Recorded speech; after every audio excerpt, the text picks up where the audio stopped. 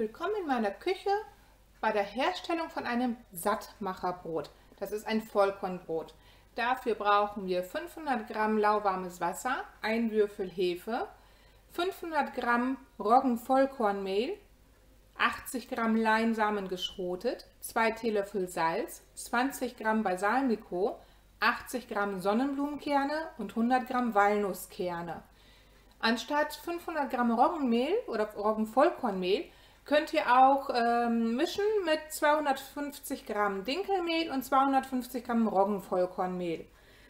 So, was fällt euch auf, wenn man die Zutaten anschaut? Genau, ich habe das Wasser vergessen. Ich bin sofort zurück. Jetzt habe ich mir mein Wasser geholt und wir geben auch direkt das Wasser in den Mixtopf rein. Den Würfel Hefe dazu.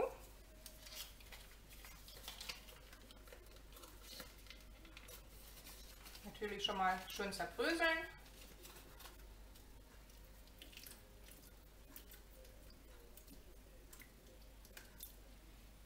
So, und das Ganze jetzt für 2 Minuten 40 Grad Stufe 2.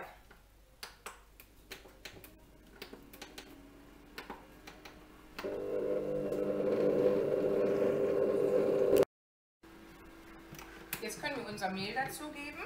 Ich habe jetzt reines Vollkornmehl genommen, ich habe das nicht gemischt.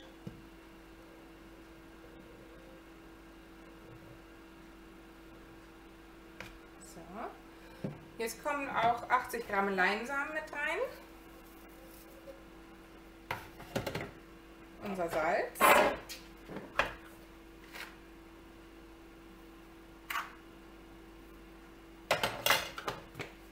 Der Balsamico. Jetzt für drei Minuten auf Kneten. Bevor ich jetzt anstelle, ähm, ich gebe ja gleich noch Sonnenblumenkerne hinzu und Walnusskerne hatte ich ja auch noch da, oder beziehungsweise Walnüsse. Die habe ich jetzt natürlich vergessen vorher zu zerkleinern, weil ganz so groß wollte ich sie nicht reingeben. Deswegen habe ich sie hier schnell im Quickchef reingetan, werde mir die gleich schon mal ein bisschen zerkleinern auf die Größe, wie man gerne möchte. Das ist äh, jedem selbst überlassen, wie groß die Stücke sein sollen. Nur, dass ihr wisst, am besten, bevor ihr das Brot ähm, anfangt, damit das Wasser und die Hefe aufzulösen, äh, macht am besten erst die Walnüsse klein, füllt sie dann um oder macht sie separat schon mal klein. So, jetzt habe ich wieder viel gequatscht. Drei Minuten kneten. Bis gleich. Das Kneten ist fertig. Ja, wobei ich gerade sehe, bei mir hat er noch nicht wirklich geknetet. Ich zeige euch mal das Ergebnis. So schaut es noch aus. Also da ist oben noch gar nichts passiert. Ich schiebe es jetzt alle mal ein bisschen mit dem Spatel nach unten.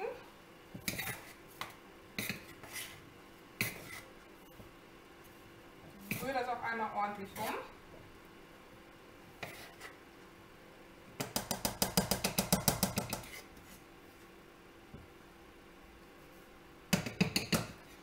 Ich werde es jetzt nochmal für drei Minuten anstellen.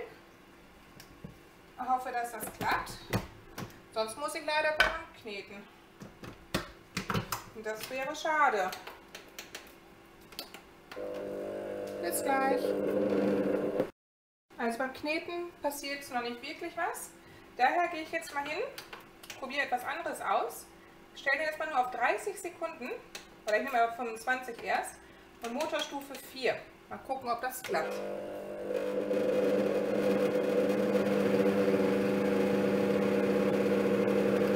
Wäre schade, wenn Kali das nicht kann.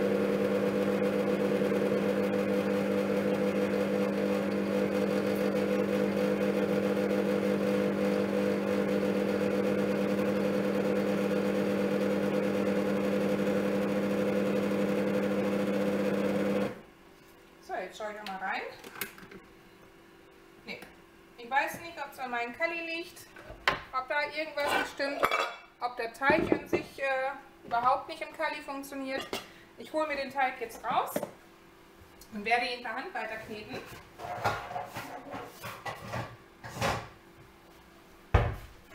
Dazu hole ich wieder meine Backunterlage raus. Bestäube die ein bisschen mit Mehl.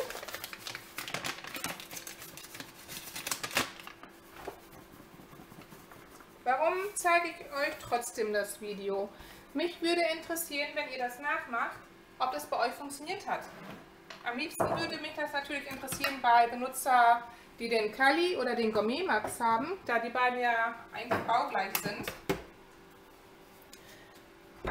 Dass man einfach da mal die Erfahrung austauschen kann, wie es gelaufen ist. Jetzt unten sitzt das Flüssige drin. Das ist das erste Brot, was mir der Kali nicht knetet.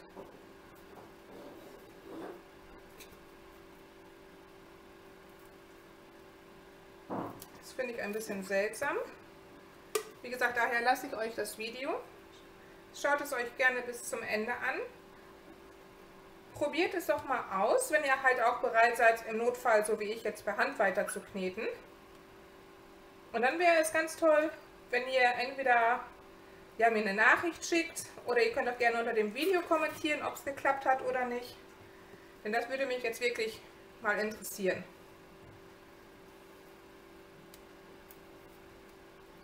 Ist halt eigentlich ein Rezept wieder für die andere Maschine, die etwas teurer ist. Aber bis jetzt konnte ich eigentlich jedes Rezept auf den Kali umwandeln. Nur das hier nicht.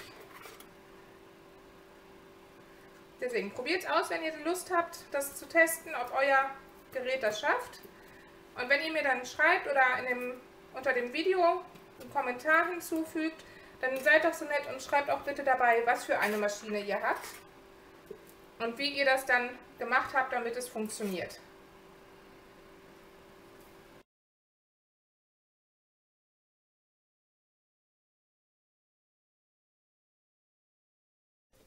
So, meine Hände sind wieder einigermaßen sauber.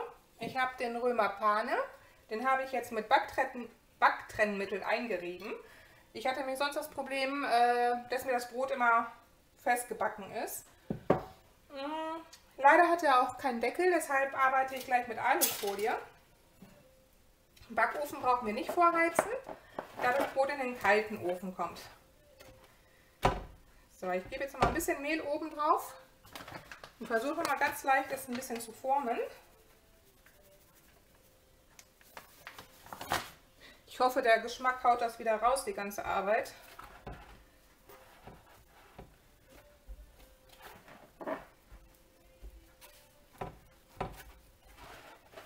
Es wäre echt schade, wenn die ganze Arbeit umsonst gewesen wäre. Aber das kann ich euch ja nachher berichten. So gebe ich das in den Römer. Ihr könnt natürlich jede andere Brotform nehmen. Drückt das ein bisschen an.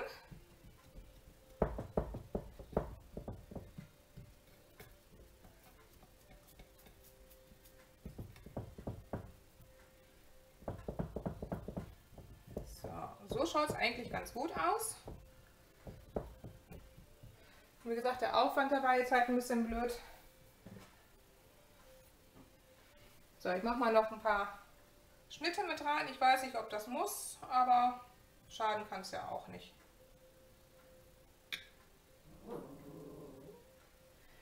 So, jetzt gebe ich meine Alufolie drüber.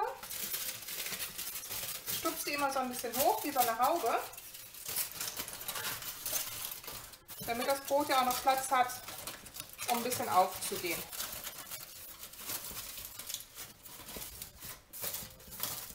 Das reicht schon.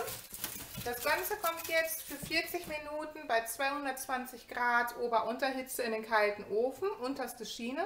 Nach den, 20, äh, nach den 40 Minuten nehmen wir unsere Haube oder euren Deckel ab und dann kommt das nochmal 20 Minuten bei 180 Grad in den Ofen. Ich melde mich nachher wieder. Das ist das Ergebnis von meinem Brot. Schaut soweit ganz gut aus, lässt sich auch gut schneiden wie gesagt, mich würde jetzt wirklich interessieren, probiert es doch einfach mal aus, wenn ihr Lust und Zeit habt und berichtet mir, wie das bei euch gelaufen ist. Konnte eure Maschine das bewerkstelligen oder nicht? Viel Erfolg beim Nachmachen, ich freue mich auf eure Ergebnisse und bis bald.